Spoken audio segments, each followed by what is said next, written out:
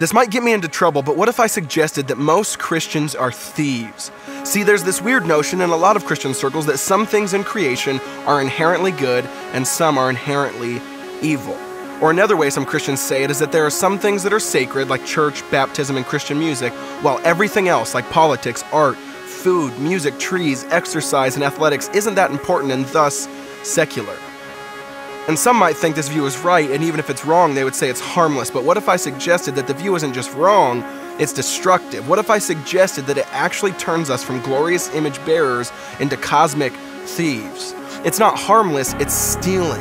Stealing God's glory that He deserves.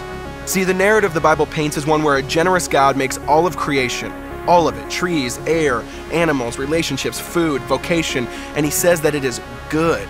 The God of the universe called and declared it good. He breathed into the fabric of the cosmos a deep sense of peace and rhythm, or shalom, as the Hebrews like to say. And looking out at this creation should produce nothing but thankfulness, worship, and awe in us, because creation is a mirror reflecting His beauty, not a billboard advertising itself. So, what if I suggested that the things themselves aren't evil, it's just the distortion of those things?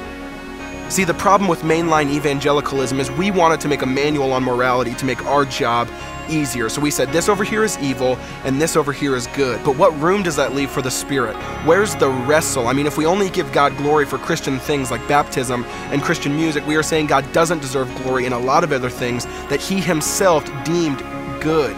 At the end of his life, the Apostle Paul wrote to Timothy and said, For everything created by God is good, and nothing is to be rejected if it is received with thanksgiving, for it is made holy by the word of God and prayer.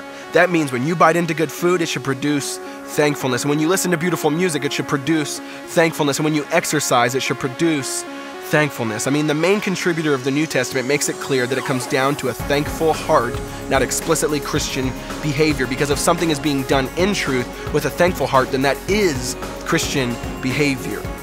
I mean, if God created all things and He declared all those things good, then the job of the Christian isn't to live in a bubble and only come out on Sundays, but is to reclaim the goodness in those things. It's to kick back the darkness and show a new way of life in the midst of the old one. And when that is happening, God's kingdom, His way, His reign, and His rule will be on display for all to see.